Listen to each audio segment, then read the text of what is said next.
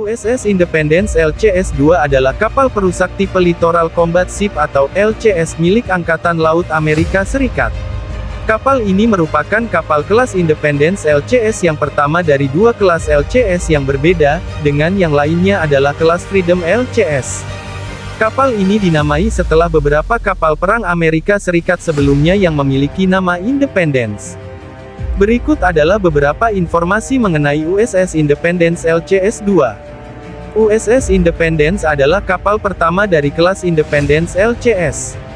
Kelas ini memiliki desain trimaran yang inovatif, dengan tiga lambung yang memberikan stabilitas dan kapabilitas berlayar di perairan dangkal. Kapal LCS-2 dirancang untuk beroperasi di perairan dangkal dan wilayah pesisir. Kapal ini memiliki desain yang memungkinkan akses ke area-area yang tidak dapat dijangkau oleh kapal perang konvensional, dan kemampuan berlayar dengan kecepatan tinggi. USS Independence dilengkapi dengan berbagai sistem senjata dan sensor canggih, termasuk rudal anti kapal, rudal anti pesawat, meriam, dan sistem pertahanan elektronik. Kapal LCS-2 berperan dalam misi pertahanan laut, operasi anti kapal selam, operasi anti perang permukaan, patroli maritim, dan dukungan udara dekat. Kapal ini juga dapat digunakan untuk misi bantuan kemanusiaan dan penegakan hukum di laut.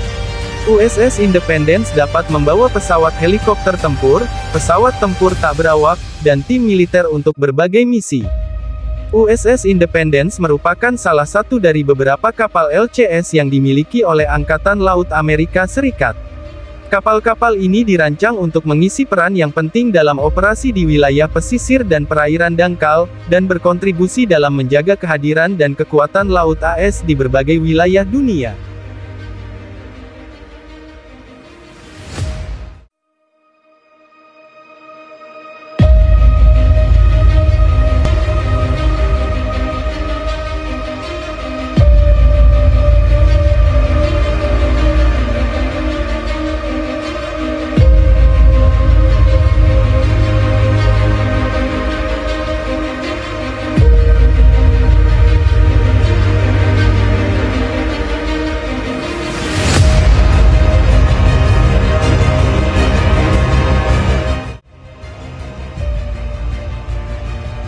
KRI Golok adalah salah satu kapal perang milik TNI AL yang digunakan untuk keperluan operasi militer di laut. Kapal ini merupakan jenis kapal perang perusak kelas Sigma 10514 yang dibuat di galangan kapal PT PAL Indonesia. Berikut adalah penjelasan lebih detail mengenai KRI Golok. KRI Golok memiliki panjang 105,11 meter, lebar 14,02 meter, dan draft 3,7 meter. Kapal ini memiliki kecepatan maksimum 28 knot dan daya jelajah mencapai 5000 mil laut pada kecepatan 16 knot. KRI Golok memiliki sistem senjata canggih yang terdiri dari meriam kaliber 76 mm, rudal anti kapal Exocet, dan torpedo. KRI Golok memiliki kapasitas untuk mengangkut 120 awak kapal dan 20 personel tambahan.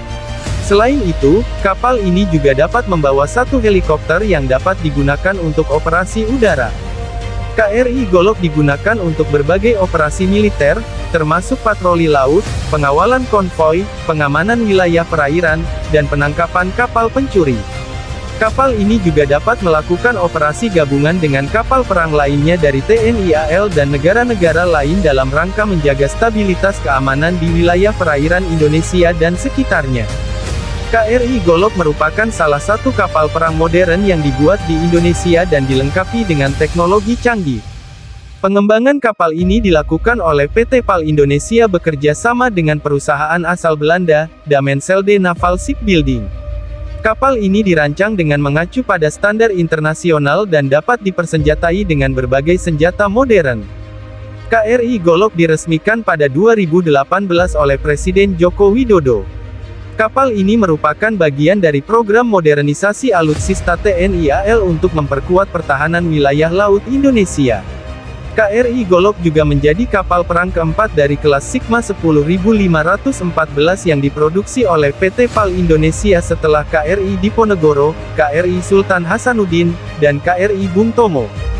Demikianlah penjelasan mengenai KRI Golok secara lengkap dan detail.